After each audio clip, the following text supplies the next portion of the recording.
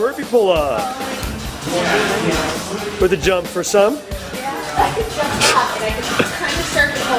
But he's gonna do 10 more.